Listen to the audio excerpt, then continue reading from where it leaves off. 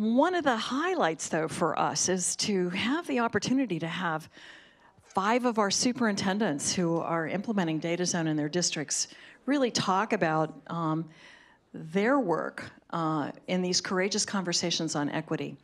And um, I get the distinct pleasure of introducing our facilitator of this, Lisa Andrew. Uh, Lisa, so, so we asked everybody to give us three things, uh, you know, to share about themselves. And so I'm going to share Lisa's.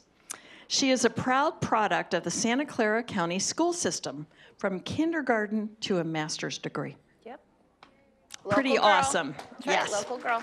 Um, she's given back to the community that educated her by working in Santa Clara County in multiple roles. So I think your paths may have crossed with Lisa Yes. numerous times in different roles. And um, she is forever curious, which makes her an incredible facilitator for this work because she asks lots of questions and loves meeting people. So I'm going to hand this over to Lisa, and she's going to introduce our panelists to you, and uh, we'll take Off it we from go. there. Great, great. Well, thank you, Marcy. Hello, how are you? And you just had lunch. And you know what that means. Forever a teacher, I know what after lunch coma means. So the onus is on us, panel, to um, get this lively and to keep this uh, audience engaged. And I think that you will find the information shared today that will uh, help you on your journey. And so hopefully we'll keep you awake. If not, get up, stand up. There's coffee in the back. Take care of yourself so that you can hear what these leaders have to say. So, yes, everyone on the panel has a very impressive professional profile, and you can read it on LinkedIn. What we wanted to, yeah, so read it on LinkedIn. That's why we have it. Read about all their stuff there. So, but we want to know some other facts, the things that were most important to them. So, I'm going to introduce you to our panel. And first, we have Robert Bravo. He is, yes, you can clap. Superintendents don't get a lot of clapping, so that's great. He's the superintendent of the Campbell High School, uh, Campbell High School District. He grew up in San Jose, and he is a proud product of the East Side Union High School District. Ooh, me too. What high school? Oh, ST. I went to Silver Creek, SC, so there you go. He loves that using data to inform our work has taken off since the 1990s. Of course, he wasn't uh, teaching then, so he wouldn't know, right? Oh. And his hobby is refurbishing old manual typewriters. See, aren't you glad you came? Yes, yes. All right, and next to Bob is Juan Cruz, superintendent of the Franklin McKinley School District. Besides sporting that wonderful beard he has going on over there, he's served the Franklin McKinley community for over 18 years as a teacher, principal, and now as a superintendent. So another local person there. His passion to advocate for all students propelled him to leave the classroom and take on leadership roles to impact a greater number of students. And I will say he's also on our board, so he's really has far reach. And he's the proud son of two courageous parents that immigrated to the US in hopes of giving their children a better life. And look at you. I know they're proud. I'm going to take his picture and send it to his mom. Absolutely. That's what I like, getting pictures of my kids. Yeah. And then we have Dr. Ayende Rudolph, superintendent of the Mountain View Whisman School District. And what he wants you to know about him that maybe you won't find on LinkedIn is that he comes from a family of educators. His two sisters are teachers, and his grandmother and mother were teachers. Wow. I didn't know that about you. My goodness. So, uh, kind of the career pathway was established for you there. Your own CTE in your house, right? He grew up, yeah, yeah. He grew up, the biggest life lesson I learned was that education was the great equalizer. And he switched majors from computer science, and you know he's regretting that now. Just admit it. You know, we can talk about that later. All right, it's never too late. Uh, switch majors from computer science to history after reading Savage Inequalities, The book served as the catalyst for him to push for every kid to have an equal opportunity to succeed. So thank you. Wow. All right, and next to him is our Dr. Nellie Meyer, Superintendent of the Mountain View Los Altos School District. Yes. It's a good thing that you're sitting next to Ayende because you also come from a family of educators. A mother was a teacher, father was a principal, grandmother a teacher in LA Unified. Wow. She still took up the mantle. Her parents moved a lot so she can empathize, empathize with the new kid because she went to eight schools from K through 12, five of those in elementary. So, yeah, no wonder she uh, can uh, work a room really well. And her favorite subject taught is government and U.S. history because she believes teaching young people their rights and responsibilities in our society is one of the most important things we can do. I would agree to that, yeah? Absolutely, especially now. So, welcome, Nellie.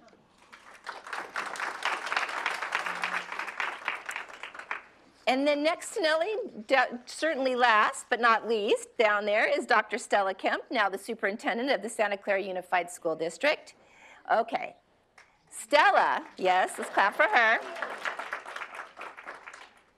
Stella was once the owner of a large Cessna flight school that trained all ages from 16 year olds to retired adults how to fly. There you go. You, are you a pilot? I did not know that. Why are we not flying to Napa every weekend? so I've got a typewriter fix here. I've got, to, okay. And she was an exchange student in Aust- Australia, and she has hosted more than 10 foreign exchange students from all over the world. So there, have you flown them anywhere? Oh, okay. But this is where, ah, this is my girl here. She loves dogs. But sadly, doesn't have one at this time. But she did bring my dog some treats and a possum toy, so she's still fulfilling it there. Her grand dog, Big Hearted Benji, has more than 5,200 Instagram followers. Oh my gosh. So those are some things about Stella. So welcome to you all. Yes. All right, so we have some real people up here, not just superintendents, but some real people, and so we're going to get to some real talk, right, about equity. So here we go. Oops, I, I, I did this too much on my desk. okay, so Archbishop Desmond Tutu wrote that a movement is born out of the convergence of dire conditions, a powerful idea, and people committed to carrying out that idea. So on behalf of the students of the Santa Clara County, I want to thank you for being committed to the big ideas of equity and data. So thank you. So we're going to begin. So in education circles, the word equity is often controversial and confusing. Would you agree? Okay. In their book, Excellence Through Equity, Alan Blankstein and Pedro Noguera define equity as a commitment to ensure that every student receives what he or she needs to succeed. So, Bob, we're going to start with you. What would the community see happening in your district that demonstrates a commitment to ensure that every student receives what he or she needs to succeed? well, we have a number of initiatives going on, so in that sense, they could see some inputs that are meant to make sure that every student succeeds. So, for example, um, we have we are training cohorts at every campus in coaching for equity to be um, facilitating those conversations with peers about what they can do to, to increase equity. We have a partnership with Equal Opportunity Schools uh, through support from Google. Actually, they're picking up uh, most of the tab so that we make sure that we have enrollment in AP and IB where our traditionally underrepresented students are well represented. But what I'm most happy about is what people can see in terms of result. So in 2015, in our district, uh, our Latino students, their likelihood of, of graduating UC, CSU, A to G was 10th out of the 11 districts in the county that do high school diplomas. And now we're fifth. Good. So Congratulations. you can't, that, that's not the kind of thing you can like turn on a dime. Mm-hmm. So I don't, I'm not taking credit for it. it's really a lot of great work that had started right before I came. So I just get to be the beneficiary. Great, great. And Juan, what would, what would uh, the community see in uh, Franklin McKinley? So one of the, the initiatives uh, around equity has been with our students with uh, special needs. Um, you know, traditionally, as if we look at the data, uh, you know, that group um, is underperforming, underserved. Uh, and so one of the things that we're engaged in is in uh, providing more inclusive uh, environments for our students uh, in the least restricted environment. So we have um, um, engaged uh, with the uh, Inclusion Collaborative and having uh, a variety uh, of services for our students in the general ed setting. So we've created a whole continuum of, of service um, from a co-taught um, uh, setting for some of our students that would have been in a uh, self-contained SDC uh, um, environment into a co-taught with the general ed and the uh, special needs um, uh, teacher. Uh, And this year, uh, we went full inclusion with students uh, with a full um, an inclusion specialist pushing in into a, a uh, totally uh, general ed setting for uh, some of our students that uh, were able to handle that. So we're looking at ways of, of uh, creating settings for our special needs students that otherwise would not be there. And as you know, uh, a lot of times when our students with special needs end up uh, in a uh, more restricted environment, it's very difficult for them to get out of that restricted environment into the general ed setting with their peers. So we're very focused on that as part of the equity work that we're doing in our district. Great, all right. Ayende? All right, well, thanks for having me. Yeah. Um, I think, just like everybody else here, there's a lot of different ways that you're going to measure data. Um, If you were sitting in a cabinet meeting, you can't get a textbook uh, adopted without somebody proving that we have enough money to do it. Um, We, when we're looking at our programs, we look at the usage rates across the board. Um, But I think if you're, you know, if you're looking for the true metric, um, similar to what they've talked about, or since 2015, when the caps started, we've improved 11 points in ELA. We've improved 10 points for math. Our Latino student achievement has increased. Our special ed student achievement has increased. Um, the- The Learning Policy Institute has identified us as one of the 54 school districts that are making a positive outcomes for Latino students. Um, so the, all those metrics are, are really important, but I think if you're a parent in our district, you're, you're the beneficiary of a very unique program that we designed called Response to Instruction. And what makes it different, like, you know, when you say RTI, everybody's like, oh, yeah, I know RTI.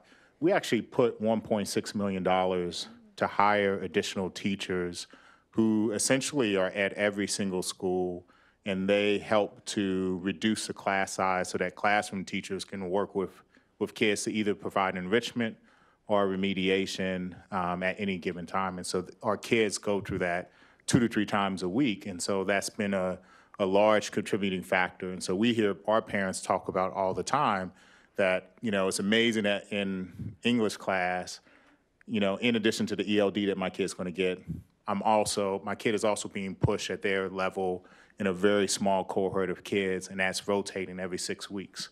Um, and I think that's really, it's helped reduce our special ed, but it's also helped with uh, student outcomes across the board. Great, thank you. And congratulations on that recognition. That's not to be slighted at all. It's great. Okay, Nellie. I, I want to say thank you because we are the recipients of students who have a great foundation. So thank you to um, Dr. Rudolph for um, being our partner district. Um, hello, everybody. Um, I looked at this question and I thought, um, what would our community see? And so I I looked to see, um, you know, being relatively new to the district, about two and a half months, I can tell you what I see. Um, there is a collective commitment on the part of the adults to make sure that they are looking and analyzing the data of every student.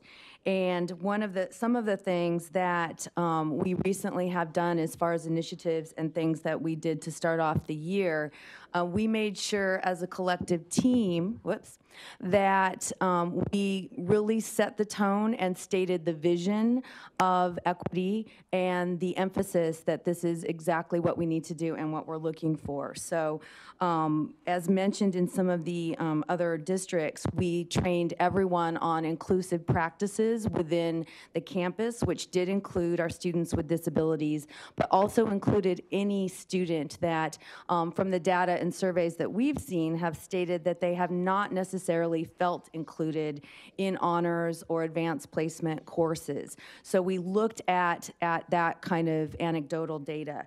Um, we also have a great team and instructional support team, and they have been training individuals and groups and department teams on how to analyze that data and look for equitable growth and to look for um, students that need extra support.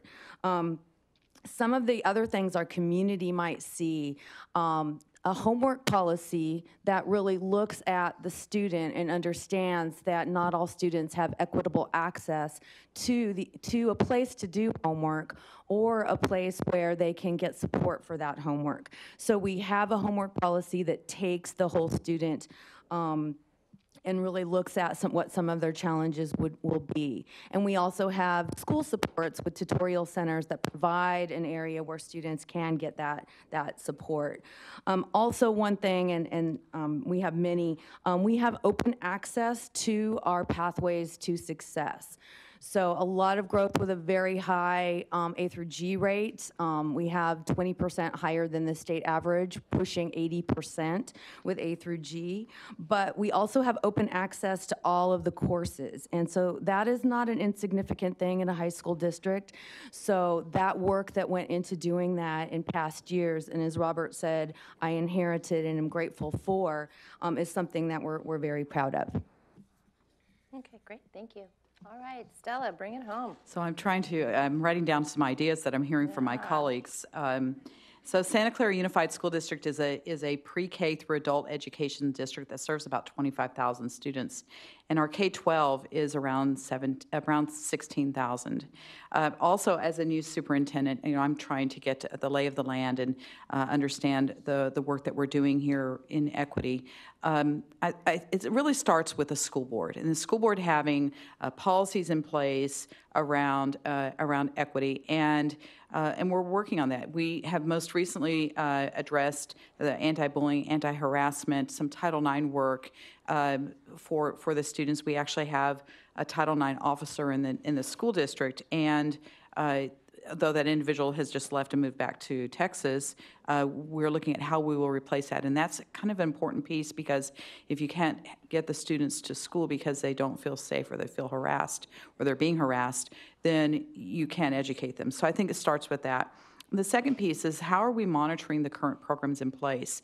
And we're fortunate to have these school leadership teams that came out of the Learning Management Initiative, uh, LMI is what it's called. And and those uh, committees at the school sites are beginning to analyze the resources that they have at the school to ensure that they are actually having an impact on student learning. And that's not been in place until this year. I think that's very important. And then the other part I think is important is that we look at what is the access to for our high school students to AP courses, to uh, specialized programs. We have an early college high school, uh, and we have a 49er STEM program, and we're looking to see are we providing equitable access to students to enter into those programs? And those conversations are just starting. But for, for me now, as a new superintendent, I'm really analyzing the systems that are in place around formative assessments to ensure that our PLCs and our school leadership teams are addressing what is it that students need? Are we providing it to them? And then aligning the resources that we have in the district to ensure that they're meeting the students where they are. Great. So I think that the common theme here was access, giving access to those who prior did not have access to, to succeed. And then several of you spoke about, and they had the opportunity because we know that showed up in, in student achievement. So congratulations to you on that. Great. All right. So often when equity is brought up in an economically diverse audience, those with affluence and privilege often become squeamish and start looking for the exit. That's been my experience. Okay? While those in financial lead often become more engaged. So we know that overcoming the impasse between the pursuit of excellence and equity is essential if we are to avoid remaining trapped on a path that is not only generating greater inequality in academic outcomes, but also contributing to deeper inequality within our society in general. So Nellie, we're going to start with you.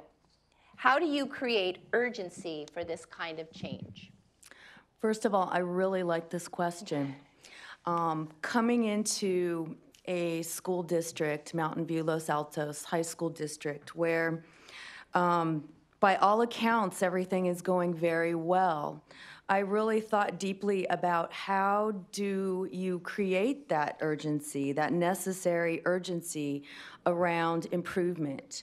And um, I'm finding it, um, it really does, as Stella mentioned, it does start with the belief system. Um, it, it, really starts with the idea of um, those who have the privileges that come with success, understanding that um, they're not going to lose something. This is not a zero sum game. And that's hard. Um, having been in many meetings in previous positions, um, when you walk in, there's always that fear that is attached to what am I going to have to give up?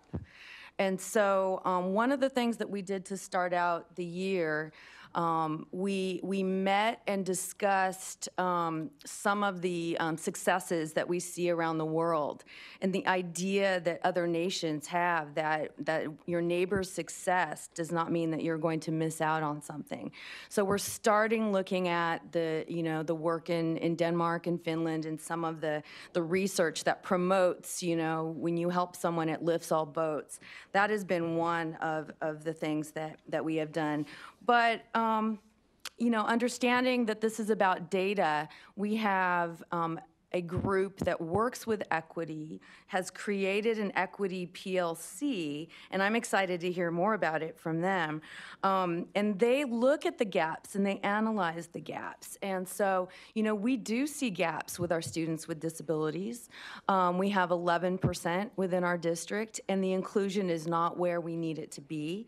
Um, our English learners, um, if you can imagine, um, coming, you know, as a newcomer, it's very difficult to be in a place where, you know, you're ranked in the top five in the state it, eh, academically. So the, the gap is wider, and, and our job is definitely to, to close it.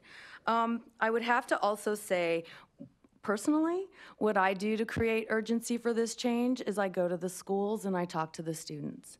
And without that grounding, I don't know that I could continue um, to have these conversations without connecting a face to that data point. And so that really is, is something that um, I've found whenever, and it's probably another question here, but whenever I, I feel that urgency is waning, go, I take someone or I go back to the, to the source and I look at the students that we're serving. Great. Okay, Stella. I did the same thing. Ditto. But I, I think this starts with is is really as a superintendent, you have to be relentless about this.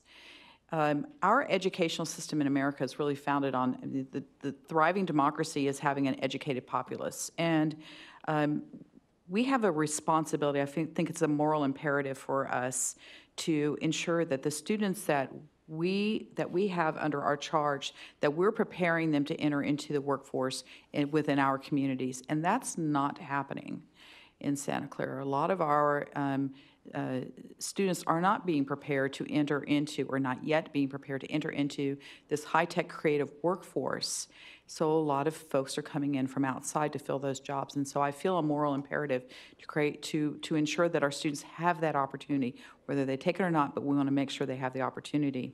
And so for me, that's always asking questions around the data. What are the programs that we're providing? Are we holding each other accountable? Are we clear about what it is that we want our students to know and be able to do when they graduate from our school district? And how do all those systems line up?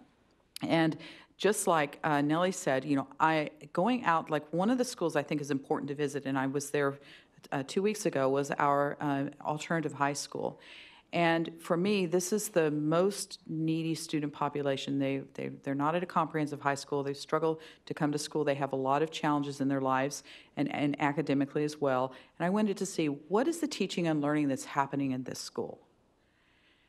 And it was a, a little bit shi- shocking for me to see that our most needy students have classrooms that are not engaging them.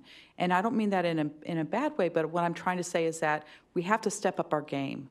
And, and, and we do this by looking at the data. So you go back and you say, okay, so what percentage of students met the standard in mathematics last year? And when you see 0%, that is really, it's heartbreaking because our role as educators is to set the next generation up to be able to carry forward the work of our country. And when that's not happening, we have to hold ourselves accountable for that. Okay, great. Thank you. And Bob?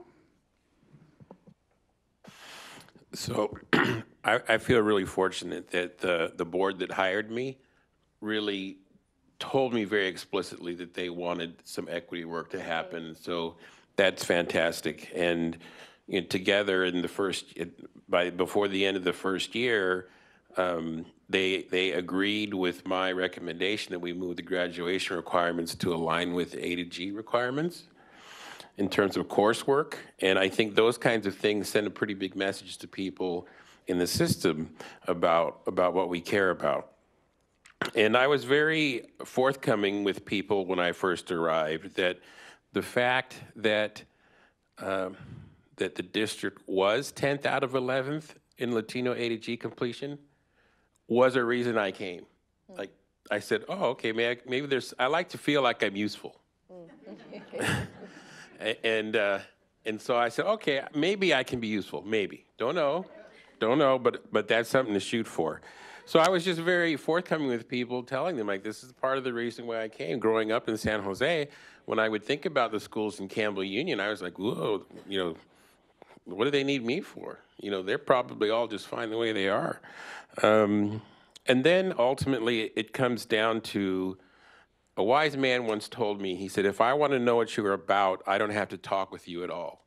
I just need to see your budget and how you spent it. Yep. I need to see who you hired, and I need to see your calendar. So where you spent your time. And I've been fortunate to be able to just make some really great hires. So I was hiring people that were coming with that urgency. I didn't have to build it in them. They were coming with that sense of urgency. I think that we've done a, a I'm proud of the job we've done in terms of the budget, how much the budget we, we aim at and target towards things to, uh, to work towards equity. I'm still working on the calendar part. Not proud of that yet, but I sleep at night. Good. Thank you. Thank you. Okay, Juan. So when we talk about equity and money, resources, then that's when it really gets tough, right? Um, If we were properly funded, I think that that may not be our biggest challenge, but because we're not, uh, when we think about equity, everybody thinks about the dollar and where it's being spent. And the competition for that dollar among the various initiatives and the various interest groups and, and so forth and so on. You know, and in Franklin McKinley, we have such a, a huge uh, uh, need across the board um, with the socioeconomic status uh, being what it is in, in the valley. Uh, we know that a lot of our families are, are struggling. And so for me, one of the lenses that I look at is what are our practices that are um, you know, things that we do on a regular basis that are uh, putting our families at a disadvantage. Uh, so I'll tell you uh, one thing that um, just struck me uh, at a back-to-school night when uh, the teacher, the sixth grade uh, teacher, was talking about science camp and this wonderful experience their children were going to have that they were going to remember for the rest of their life and just built up this this whole concept of going to this this uh, having this experience and at the end said and it's going to be $350 i could see the, the, the, the energy just leave the room as some of our families i'm sure thought well it's nice to know that that's a a, a, a potential experience my child could have had, but it's not going to have now. So I've engaged our board in saying if we build, if we truly believe that that's an experience our students should have, then we should put our money towards science camp, right? And so that's one of the things that a lot of times we just go about our day, you know, think, uh, uh, think about those things where uh, $5, $10, $20 is critical for that family. And now we're having practices and things that uh, put those families at, uh, at risk of not having that positive experience. The same thing happens with our students with special needs. Anytime we talk about services that we're going to provide, we immediately go to the encroachment. We forget that there's so many resources, so much that we put to the general ed students that don't go account, that nobody accounts for. When I was a principal at a high school, um, we, we knew that our moderate to severe students were not accessing the extracurricular activities that we spend thousands and thousands and thousands of dollars towards. But yet, when we talked about some need that they had was, well, the encroachment. One of the things that in our district, uh, uh, uh, a change was whenever a principal or a teacher wanted to buy something for a, our students with special needs, they asked to be paid out of the district special ed fund, like if there was some magic pot of money somewhere. And so I had to remind them that every single one of those students generates ADA, generates money at their local site level for their budgets. That if they're buying pencils and colors and for our special needs classes, those are the same dollars that should be spent out of the general ed. And so we have to continue to um, have those conversations um, because it always is about fighting that, for that dollar and who gets it. And so we have to make sure that we're uh, not uh, more uh, disadvantaging more those uh, student populations that are already uh, starting as a, um, you know, in, with that inequity from the very beginning. So um, whenever we talk about resources, um, it, it's always the fight. Um, and you know, unfortunately for some of our students, uh, uh, historically they have not been on the winning side of that. Great. So, yeah, you can clap. No, they need to be. Yes, they need that. So, Ayende, I'm interested in your answer to this since um, you were so um, influenced by savage mm-hmm. inequalities. So, how do you create that sense of urgency?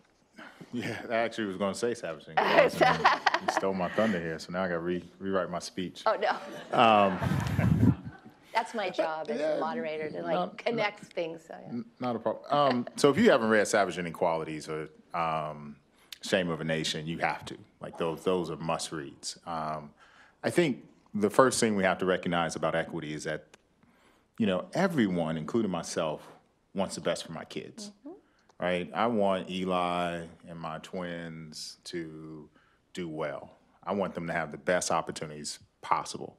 And that's true for every single parent that I've ever encountered. The problem is is that when somebody says that, we then shy away from saying, well, every kid deserves to have a similar a same education. You know, so going back to savage inequalities, when you read about East St. Louis and sewage coming up, in the bathrooms, you realize like my educational experience is completely different than what other people's educational experiences are. And so the first thing I would say is that we have to challenge ourselves to fight for kids that look like us. Right? And I'm not talking about like black kids, because we're only 4% of the population. I'm talking about kids that look like us. You know, we're not the, and, and you may have been the superstar uh, student that got all the math problems correct and you may have been the star athlete, right? But I was an art kid who happened to play sports and was good. So I was just an awkward bird. But there was somebody who took an interest in me. And I think that's part of our job as educators. We have a moral obligation to make sure that every kid gets the same thing across the board. And when we talk about equity, we have to keep that at the forefront of our minds. So when we're talking about, you know, access to internet, in our district, every single kid in middle school gets a gets a laptop, and they get to walk away with it. And the reason why they get to walk away with it, because there are rich kids whose parents are working in tech industries who are stretched just like there are poor kids, right? And so that shouldn't be an excuse if we believe that in our community, having access to the internet is essential. But at the same time, when Google is trying to give something, I will go right back to them and say, my homeless kids need washers and dryers. So I need you to donate some money for that. And I think that's part of our challenge that we shy away from these types of conversations because we're so afraid that our most affluent or the parents who have the most social capital are going to get offended if they ask if, if we if we say we're going to give somebody something. And really we should be giving every kid what they need mm-hmm. as much as we can. And, and we shouldn't make excuses for ourselves to say, well, and, it- and I'm not saying it's because we don't, none of us are funded appropriately, right? But we shouldn't make excuses like we don't have enough money. We, we donate computers every year. We write them off because they have a three-year lifespan. Why not give them away? right? We, we should challenge our tech companies to provide free internet. We should have the argument and be truth, purveyors of truth is what we call it in our district. If a school is not doing well, call it out. And then tell people, yes, I am going to spend $200,000 in Title I funding at this school because their PTA cannot raise $200,000 like our most affluent school. And there's nothing wrong with that. That is the great equalizer across the board.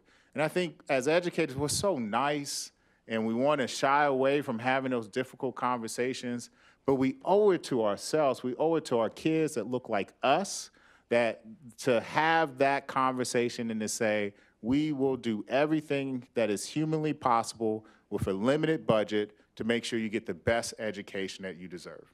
Great, thank you, yes. So we need to be relentless with those high expectations, but I agree. If you ever forget, just go walk into a classroom and see those little eyes looking at you saying, hey, I've been waiting for you. I've been waiting because I showed up at school today, so I'm, uh, so I'm waiting. So great, thank you. All right. Education researcher John Hattie states that gathering data is the easy part. What is difficult is interpreting data and checking that others understand that interpretation. Hattie writes, it is the skill of interpreting the evidence about student learning that makes teachers successful. It is the virtuous cycle of evidence and analysis leading to action and feedback. So Juan, how does data inform Franklin McKinley's work? Well, that's one of the, uh, the, the, the best question, right, is what do we do with data? And one of the things that in Franklin McKinley, we, we've been one of the partners with uh, Data Zone from the very beginning because it is not easy, right? You know, we have a wealth of data. I think everybody can say there's not a lack of data. The question is, how do we make sense of it in an easy, uh, digestible way that al- already overstretched staff um, can make meaning of it uh, and make changes to their practice, right? And so that's one of the things that you know we look for uh, in the use of the uh, data zone and, and, and the various uh, things that we have access to because there's just not enough time. There's not enough time in the day uh, to try and make meaning of data in a way that is uh, constructive for student uh, uh, changes in terms of student outcomes. Um, so that's always that's that continues to be a struggle. Uh, you know, we have, you know, we talk about uh, PLCs and making sure that we, you know, those are driven by data, and we talk about decisions that are driven by data, or LCAP, or you know, all those things. But at the end of the day, we um, struggle to make meaning at the classroom level and make sure that we change the adult practice there to meet the needs of our students. And that is an, an ongoing challenge that we have, and I don't know that we've solved it just yet. But the expectation is that we're looking at data, we're analyzing data, and that we're making changes to, to adult practice. Um, you know, we have the, I, I believe we have the tools. Uh, I think we have to find easier ways for our staff to make meaning of it um, because it, there's just not enough time. Uh, and, uh, you know, we don't, uh, most of our educators, uh, myself included, we didn't actually take a class on data analysis and, and, and all those things, right? So we learn as we go and we rely on those tools uh, that help us uh, at least try to make some meaning out of it. Um, but it's a, it's a really tough uh, thing to do at a classroom level. Great. Okay. I'm going to mix it up. Nellie. Are you awake? Did you notice? I, I just want to. I'm really enjoying listening to, um, to my colleagues, so thank you for that. When you mentioned time, um, one of the things that um, coming into a new place, and I'm smiling at my associate soup here, um, there were about 25 different goals and indicators and targets and subcategories of different, they're laughing, different targets and, you know, timelines associated with that. And one of the things that, that I've seen um, with data is if you make it too complicated, it will not be used. And that's pretty universal. So my ideal goal would be to narrow this down to, to three things that we could do well in, in high leverage data points that have a lot of different things under that umbrella that will lift things up when you hit that target. So um, I, I will share that I think there's a lot of work ahead for myself and my team to simplify what that data looks like and what data we really believe is important. And as said earlier by a colleague, then how we're funding that data point and then how we're following up with that data point. So it really is that continuous cycle. But going back to data, um, we're really good, as you mentioned, at being nice and thoughtful, and um, we do shy away from the conversation that that points out where we need to improve. And data is is really a tool in that, as you all know. So um, when we have that conversation, when we're showing the gaps, when we're talking about what we need to do, um, using um, those gaps and, and using those successes as well to to measure, you know, why did this work in your classroom as opposed to mine? So that's the kind of thing where you know that kind of you know with formative assessments and summative assessments, you can do that in those PLCs, and that's critical with um, a, critical way that we use the data. Um, I have to al- also say that. Um, the student voice, a data point around what the students experience, uh, experiencing in that classroom is critical. And I have found I don't want to say every time, but it feels like every time I have asked students how this is working or what went well or what needs to be corrected, they know. They're, they're so they're so amazing at you know this needed a longer period a lesson here so how we could incorporate not only the numerical data but the data from the students that that you can then put into improving the work that you're doing so um, that would be um, one of the big kind of movements the things that I think that we could work on Great. All right. Stella. So I, I think that uh, what Nellie has said here is, is absolutely on point. Uh, When we're, when we're talking about um, the data, it really is a reflection of the teaching and the learning that's been going on in the classroom. And when you start looking at what the learning is, um, I've had experience with instructional rounds, and I think that that is a very important data point that we uh, sometimes are a little nervous to to implement in school districts because when you begin to go in and look at what is the learning, what are students engaged in, what's the level of rigor, um, what kind of questions are the students being asked, what does the work look like, and then what are they producing? as a response to that, uh, the teaching, is, is, is an insight that gives us information regarding um, many, many things that are happening in your school district, from the professional development to the selection of your instructional materials. And, uh, and so I think that when you begin to, to, to focus on the, the, the every day in the moment what's happening and tracking that. And uh, one story that I have from this work is um, a school district that I worked with in Southern California had a school that really adopted instructional rounds, and they were focused on level of rigor and student engagement out of Phil Schlechty's work. And for about six months, they, they, the school was trained, the leadership team and the teachers were all trained on, um, on the rigor and, and engagement. And they went out and collected data. In the end of six months, they had a, a, a like a, a data person at their school site who analyzed the data and found it sort of fell into two groups. Data set A had low levels of engagement and low rigor, and data set B had high levels of engagement and medium to high rigor. And so they brought it to the staff and they put it on the table and they said, So tell us about this data. And immediately, the seventh grade teachers pointed to the eighth grade teachers and said, Well, data set A is you. And they said, Nope, that's not it. And they said, Well, that's math. Nope. Low rigor, no, that's not math. And so the teacher said, What is it? They said, Data set A, low rigor, low engagement, was Monday and Friday. And data set B was Tuesday, Wednesday, and Thursday.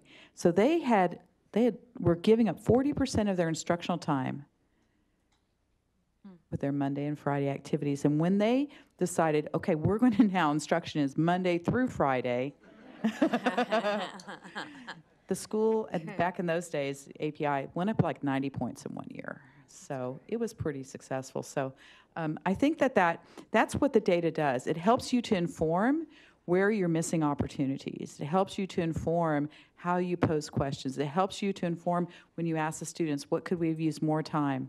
And I think some of the very best teachers are the ones that have the students at the end of each period write a little exit ticket. Say, how did today go? Is there something else I need to cover when you come back in tomorrow? All right, Ayende. So the first thing we say is uh, data tells a story, but it doesn't tell a lie, right? And so we we often use data to inform what comes next. So when you know um, when Juan's talking about special ed kids and you seeing the gap, when we look at the gap, we say, well, what is everybody else doing?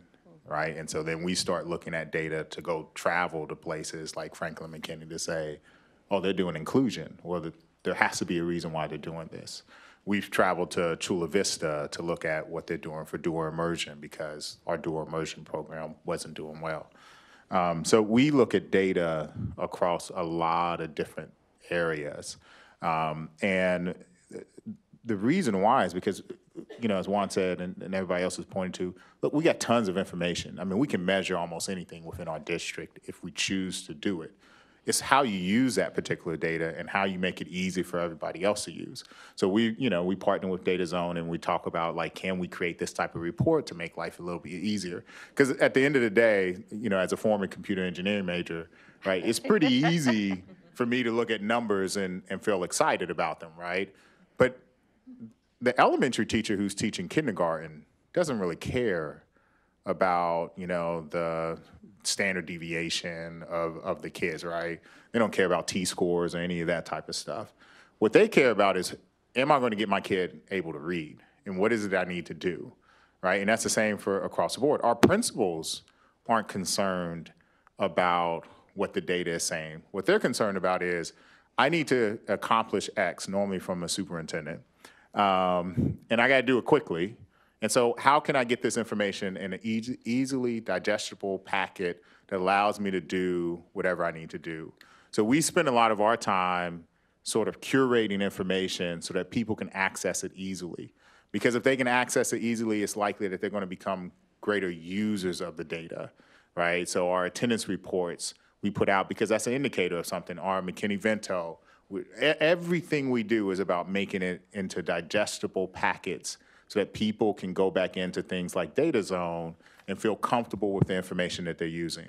And then we, we build protocols around everything that are unique, that the whole district uses. So one of the things about organizational alignment that we've noticed is whenever somebody walks in, and, and I was like this too as a high school teacher, when everybody says that they're doing something different, it just encourages me not to do it, right? Because I'm like, well, well, wait a minute, Bob, why are you doing it this way and I'm doing it the hard way? So I'm not going to do this. And Bob says the exact same thing. But in our district, every principal, every teacher uses the same data protocol around the same time that is easy for them to digest. The information looks all the same, and that encourages people to keep using the data. It encourages our RTI program. It encourages us to keep looking for better solutions um, across the board. And I think that's how it sort of permeates our district. And then the last thing I, just want to say, I want to reiterate, re-emphasize this one more time. We work in a private profession. We walk, we were trained to walk into our door, our rooms, and shut the door and work with little kids or adults. But there are great things that are taking place across all of our districts. If you just look at the data and you say to yourself, what is somebody else doing? What's my classroom, my neighbor doing? What is another school district doing? And, and you follow the, the tracks of the little crumbs, and you end up in places that you never thought you would end up, and you're doing things that you never thought you would be doing. And I think that is ultimately the true test of data. And that's why we get excited when we hear people say, oh, we're going to push everybody to get A through G. Because now that's like, that's fuel for me to say, well, how did you get the Latino students and, and changing graduation standards to get to A through, A through G? And that's only if you follow the breadcrumbs. Great, thank you. All right. And Bob, going from 10 to 5, you must have used uh, some data to get there? Well, we had to, we had to use data to know that's where we were at, for sure. There you go. I'm, I'm going to take a little bit of a, of a disagreement with Mr. Hattie uh, in that it actually isn't easy to get data. And I think we have systems where we've got a ton of data on what students can, how students can perform on academic instruments, but we actually often have very little data about the, uh, the care that we are giving them right? So if you were testing the, the efficacy of a drug or a medical procedure, you would have a lot of data on, well, what was the dose of that drug you were giving? Or, you know, what did the ethical procedure follow certain, and we don't. For the most part, the, the teacher, what the teachers are doing on behalf of the kids is not captured anywhere in data systems. You get, you get at it or you come close to it and you start talk, if collecting information from things like instructional walks and things like that. But even still, I think that's the that's the part of our system that still is relatively immature. That we can't often we are not in a position to make cause and effect relationships because we actually don't know what the inputs were for the kid. So we can say, "Ooh, kid, you're sick. You're very sick," but we can't really say that. And your doctor prescribed the correct thing for you Right. right? So that being said, though, it doesn't mean that data doesn't have value. It absolutely does. Although I think that data tends more to raise questions than give us answers. Um, because we don't have a sophisticated enough system to say the data says that we must do this, right? I think often it just makes us look deeper. Um, but sometimes I just like it just to sort of knock people out of their comfort zone a little bit. Um, for example, I don't know if any of you in your districts ever hear this, but people say, well, who cares how kids do in the SBAC? They don't take it seriously. No? Yeah? Okay. Eh, or, or it doesn't matter. And so I, I asked my, uh, my director, uh, who is Cracker Jack, and I said, hey, uh, what's the correlation between PSAT, SAT, and SBAC in our district? And she goes, oh, okay. Comes back a couple days later. Here you go. Has some scattergrams for me. And what do you know? They're super correlated. So this SBAC that people are saying like kids don't care. Okay, I don't know if they care or not. They don't know. But how they do on it seems amazingly correlated to how they're doing on PSAT and SAT. So stop, stop saying that, right?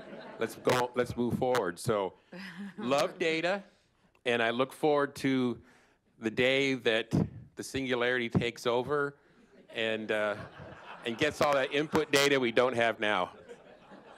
Yeah. All right, that's great. So, in the spirit of the last question and being out of time, isn't that how it is? The fourth agreement in Glenn Singleton's Courageous Conversations About Race is expect and accept non closure. So, we're going to have some non closure right now. All right? He states that the magnitude, complexity, and longevity of our racial struggle and strife in the United States rule out any possibility of discovering a quick fix. And I think hmm. you, you all spoke to that we're in this hmm. process and that it's difficult and it's hard. Singleton tells us that we must commit to ongoing dialogue as solutions discovered are ever forming and ever changing. So we have some non closure here. Thank you. Continue the dialogue. Thank you to all of you for being in dialogue with us today. I thought we were going to ask that. Oh, 'cause the time. Thank you to all of you for uh, listening and being a great audience, and I hope you have a great rest of the day. Thank you.